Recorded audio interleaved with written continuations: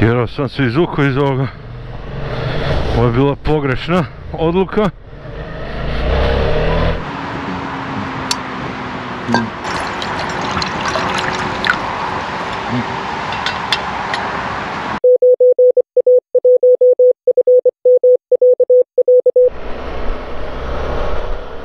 Dobar dan na početku još jednog videa.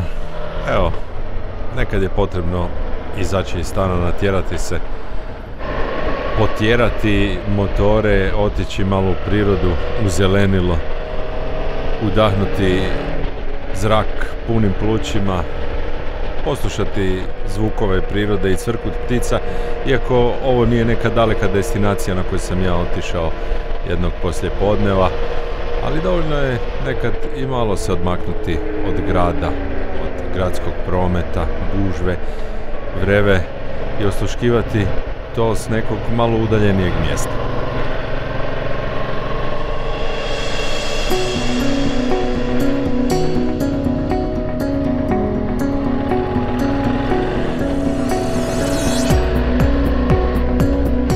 Dugo vremena sam mislio da se do ovog objekta ne može ni doći, gledajući ga kad idem autom od rotora na obilaznicu. Vidio sam tu građevinu, nekakve klupice, fino uređene ljudi roštiljaju, pa rekao idem to pogledat malo. Moram priznati da me ne zanima, niti nije me nikad interesiralo istraživanje samo, same unutrašnjosti ovog objekta, ali shvatio sam da je zapravo čisto fora provesti se malo motorom po ovim cesticama oko same bolnice, šljunčane cestice, a i zanimljive klupice, može se malo zaroštiljati. Građani vikendom ovdje dolaze jer velika je fina prostrana livada. Ipak nisi u gradu, nisi u nekom parku gdje dolazi jako puno ljudi jer vjerojatno ni puno ljudi ne zna da se ovdje može i smije.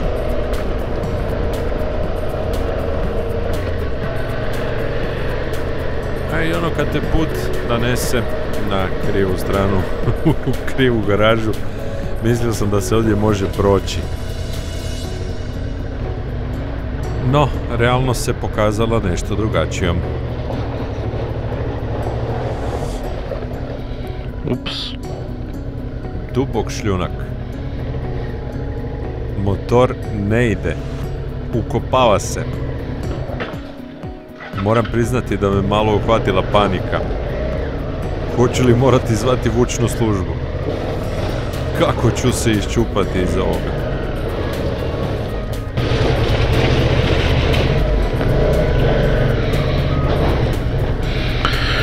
A mislio sam da ima tu izlaz, ali bit će da nema.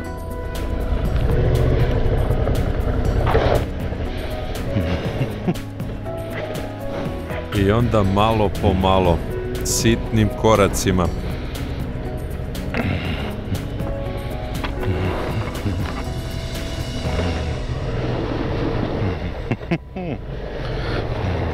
Sva sreća da imam kvalitetne gume koje su dorasle ovom zadatku. Jer sam se izvukao iz ovoga. Ovo je bila pogrešna odluka. Da su kojim slučajem gume bile cestovne, mislim da bih morao zvati vučnu službu.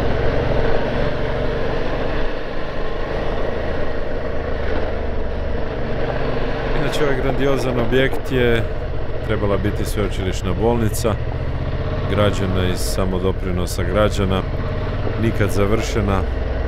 Početa je gradnja negdje 85. godine, a uslijed ratnih zbivanja nije nikad e, završena njezina gradnja. I tako zjapi već 30 godina.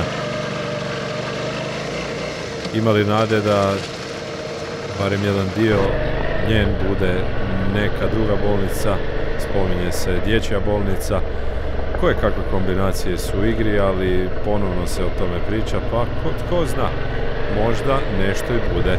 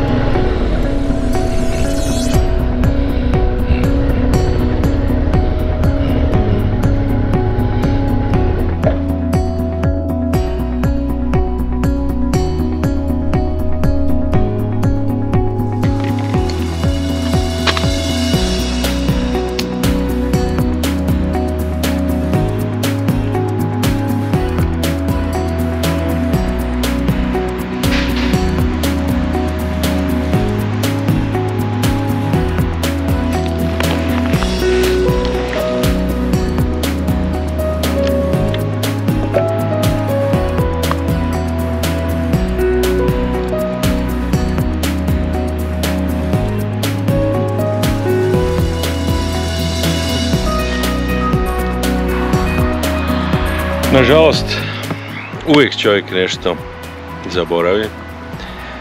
Zaboravio sam kabel za spojiti stanicu, tako da jako sam lijepo povukao žicu, bacio sam je tamo na ono drvo, Evo, tu gore. No, međutim, neće biti ništa od toga. Jer sam zaboravio spojni kabel između baluna prilagođenja za end fed half wave antenu koje se lijepo prišteka tu. Evo e sad ovo što ide tu i u radio stanicu nemam taj kabel popit ćemo kavu malo sam se provozao s motorom i to je to za danas. Nažalost sad mi se ne ide doma po, po žicu. Ali je ovo i prilika da se isproba neka nova igračka.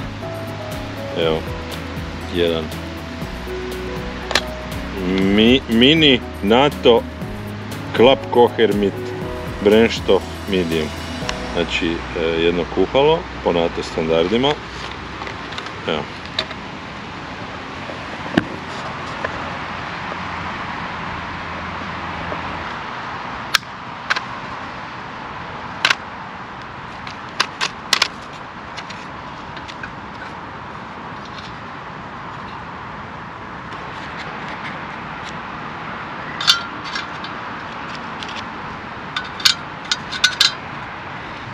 Tablete. Jedna tableta navodno bi trebala vorjeti 5 minuta.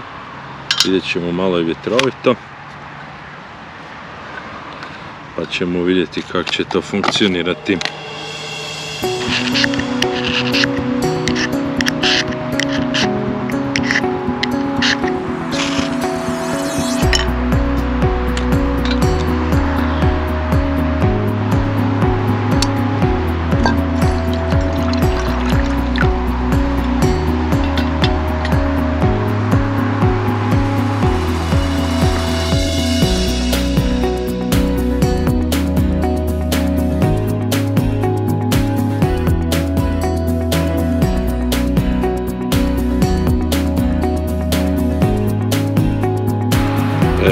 Sad sam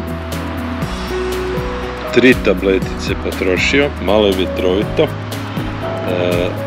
nemam poklopac za posudu i nažalost teško voda želi proključati, ali mislim da će biti sad ovo dovoljno da se umuti jedna kavica. Znači tri tablete,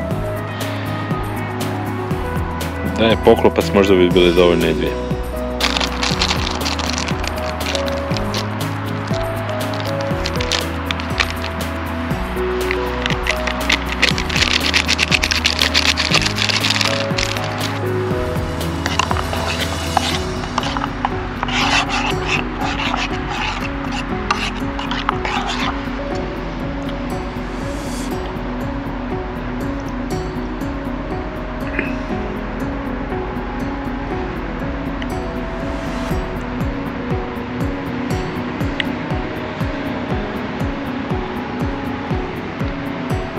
Fina je ova kavica u prirodi malo. Zgodna je ovo stvarčica, a nije ovdje jaki plamenik. E, ali ovako, s obzirom na veličinu cijele priče za situaciju kad je potrebno nešto podgrijati. Evo, ovo je pa debljine centimetar i pola desetak centimetara dugačko i široko jedno osam. Evo. Zanimljivo. U svakom slučaju zanimljivo. Da vidimo imali nekog na radio stanici VHF e, lokalni ovdje promet u Zagrebu 9 Alfa 1 Foxtrot Mike portabl poziva i sluša, ovo je 9 Alfa 1 Foxtrot Mike portabl. zadržavati onda. Uživaj, se čujemo mi tamo da, na ovim drugim kanalima. 9 Alfa 1, Fox Mike, 9 Alfa 1, Bravo November.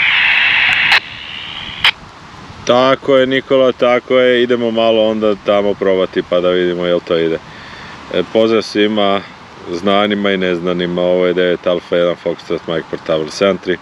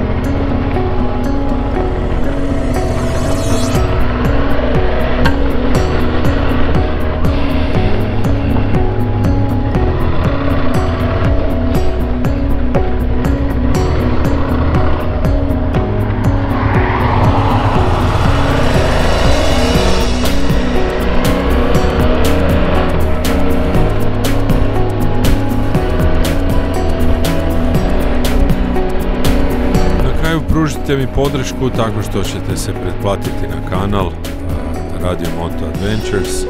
Ako vam se sviđa ovakav sadržaj, bit će takvih sadržaja još, pa onda molim palac gore, pretplata i vidimo se opet sljedeći put. Pozdrav!